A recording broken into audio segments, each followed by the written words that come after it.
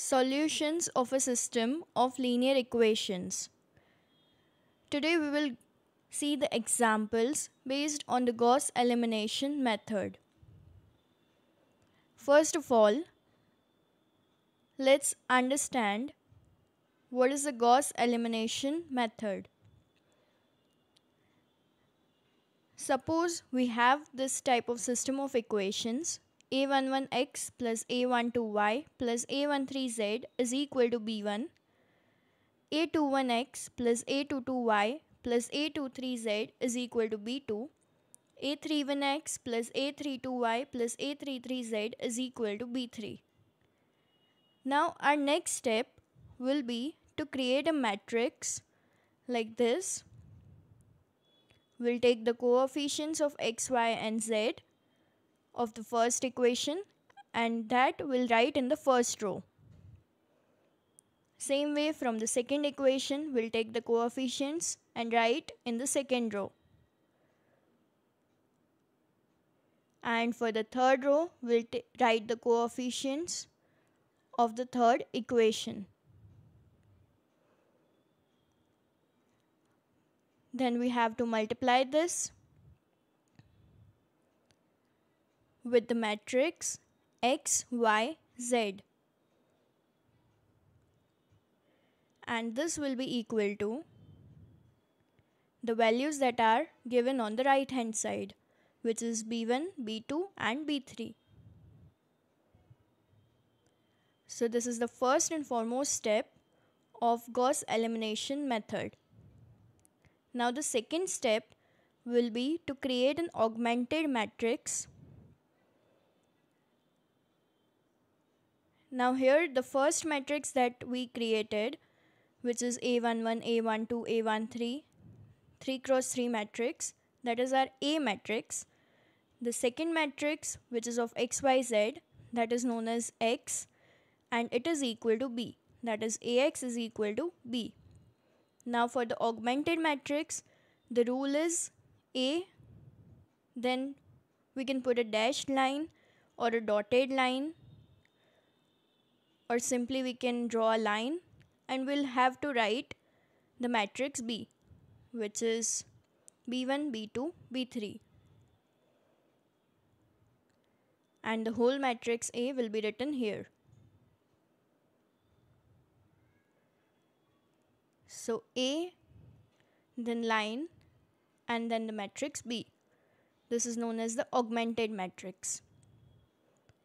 Now we have to perform row transformations and we'll convert this matrix to echelon form.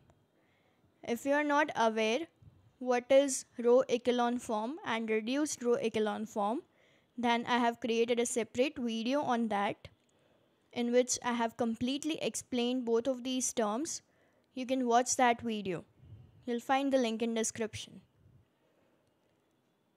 So here we'll perform row transformations and convert this matrix to row echelon form. Suppose say that on conversion we get it like this C11, C12, C13 then again line and here we get the values say D1, D2, D3 then the second row which will be 0 then here also 0 and then C22, C23, C33.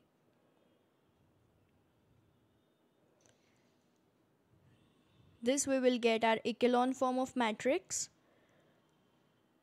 Now as you can see this first row, this is the second row and this is the third row. So we'll get three equations. The first equation will be C11x plus C12y plus C13z is equal to D1.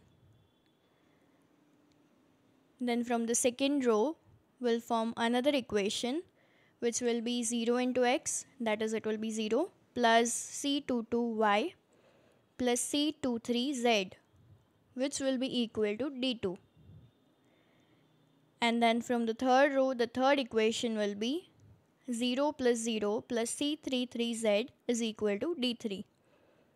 Once we have formed the equations, we'll use the back substitution method to find the values of x, y and z.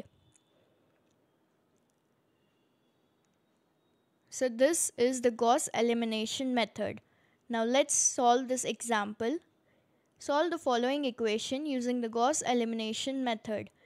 x plus 4y minus z is equal to minus 5. x plus y minus 6z is equal to minus 12 3x minus y minus z is equal to 4. So our first step will be to create a matrix Ax is equal to B. In A, the matrix will be like this. Writing the coefficients of x, y, z of the equation 1 in the first row. So it will be 1, 4, minus 1. Then for the second equation, the coefficients are 1, 1, minus 6. And the third row will be the coefficients of the third equation. So it will be 3 minus 1 minus 1. Multiply it with the x matrix. x matrix is x, y, z which will be equal to B matrix which is the right hand side of all the equations. So it will be minus 5, minus 12 and 4. Now we'll create the augmented matrix which will be A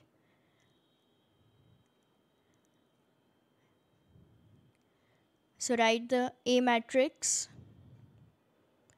then you don't have to close the matrix because we'll put a line in between as we are creating an augmented matrix this way you'll create a line and then write the B matrix which is minus 5 minus 12 4 now our next step is to perform row operations. Now for the row echelon form, the rule is wherever you see this leading 1, below that leading 1, we need to make the entries as 0. Like here in the first row we have our leading 1. So below that we can see this 1 and 3 where we'll make it 0.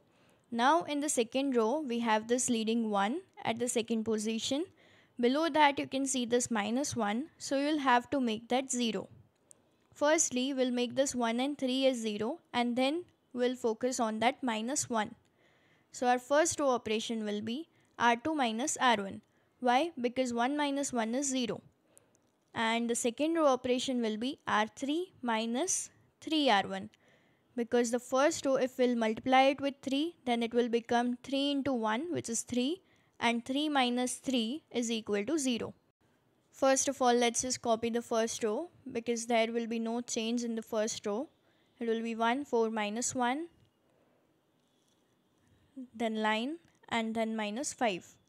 Now the second row, after performing this row operation of R2 minus R1, it will become as 0 minus 3 and this will be minus 5 minus 12 minus minus 5 which will be minus 7 then after performing the next row operation which is r3 minus 3 r1 the third row will become like this 0 minus 13 2 and 19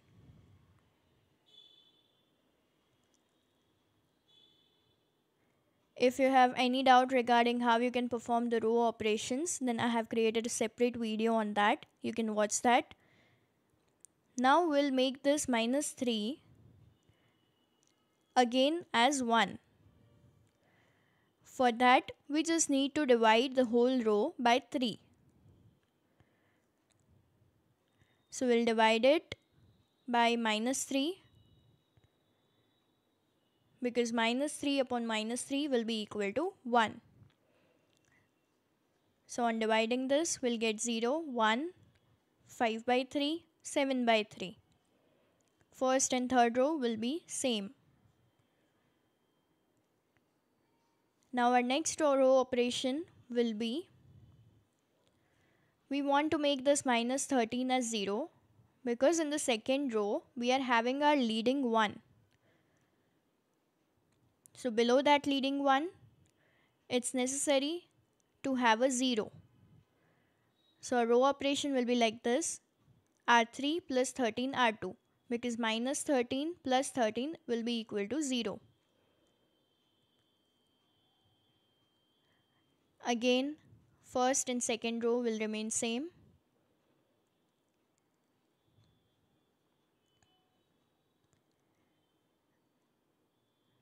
Then after in the third row we'll get the values as 0, 0, 71 by 3 and 148 by 3. So now we have reduced our matrix and converted it into the row echelon form because we have our leading 1 in the first position in the first row and in the second position in the second row we have our leading 1 below that we have 0 so this is our row echelon form of the matrix. Now we can just write the equations from this matrix which is x plus 4y minus z is equal to minus 5. From the first row we'll get our first equation. From the second row the second equation will be y plus 5 by 3z is equal to 7 by 3. And from the third row we'll get our third equation which is 71 by 3 into z is equal to 148 by 3. Now we'll use back substitution. Firstly, we'll find the value of z from this equation which will be equal to z is equal to 148 upon 71 because 3 3 will get cancelled. Now placing this value in the second equation which is y plus 5 by 3z is equal to 7 by 3. So 5 by 3 into 148 upon 71 is equal to 7 by 3. On solving this, we'll get the answer as y is equal to minus 81 upon 71.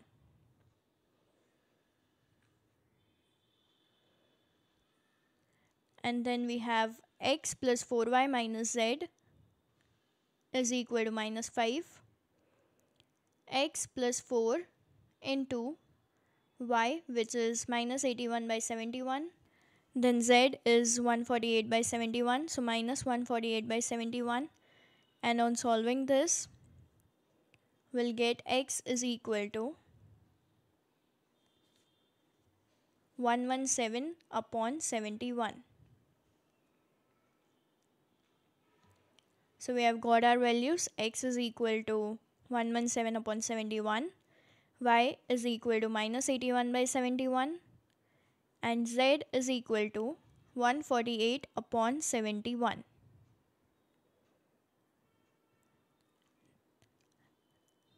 Let's just solve one more example. The question is solve the following equations using the Gauss elimination method.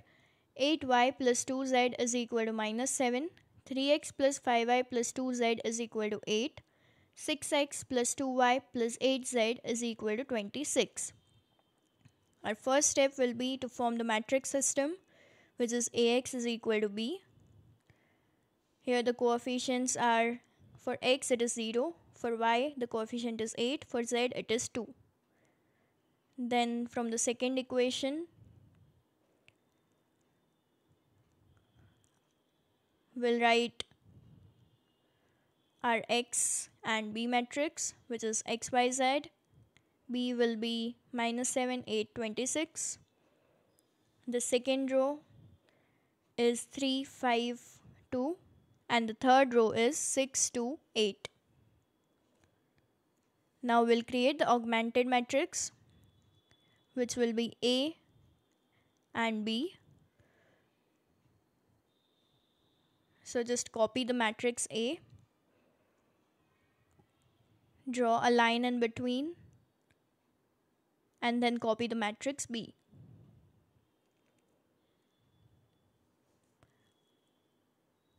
Then our next step here as we don't have the leading one in the first row we need the leading one in the first row. So for that we'll perform the row transformation like this We'll just interchange the row 1 and row 2. So on interchanging, our row 2 will become our row 1 and the row 1 will write in the row 2. We have just interchanged the rows.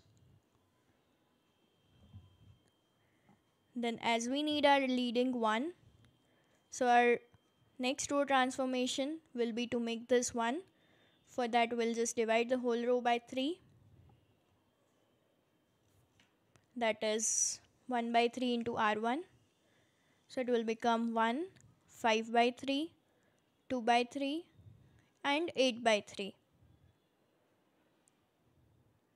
Second row and third row will be the same.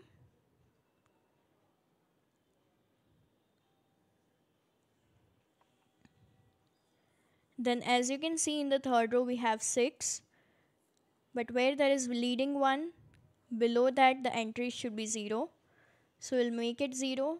In order to make it 0, we'll perform this row transformation R3 minus 6 R1 because 6 minus 6 will be equal to 0. So we'll write the third row first. 0 minus 8, 4 and 10. After performing the row transformation, we got the third row like this. The first and the second row will remain the same.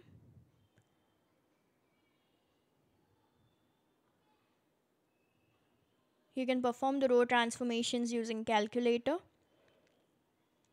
Now our next step will be to make this 8 as 1 and this minus 8 as 0. For that the next row operation that we'll perform is dividing the second row by 8. So R2 into 1 by 8. So we get that the second row like this 0, 1, 1 by 4 minus 7 by 8. The first and the third row will remain the same.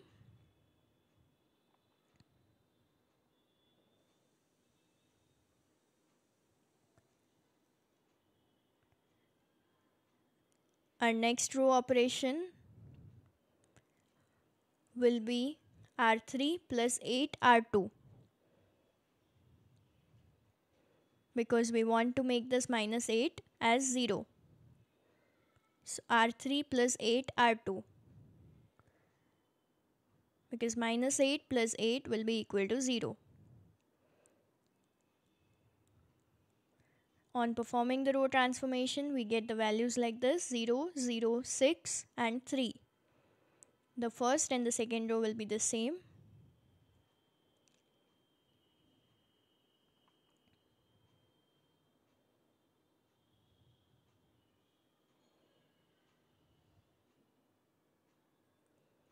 Now we have got the row echelon form of matrix. So we'll write the equations from this matrix which will be x plus 5 by 3y plus 2 by 3z is equal to 8 by 3 then 0 plus y plus 1 by 4z is equal to minus 7 by 8 and then we have 0 plus 0 plus 6z is equal to 3 so we'll start from the third equation. We'll find the value of z z will be equal to 3 divided by 6 which is 1 by 2. Then we'll substitute this value in the second equation y plus 1 by 4 into z is equal to minus 7 by 8. So it will be y plus 1 by 4 into 1 by 2 is equal to minus 7 by 8. On solving this, we get y is equal to minus 1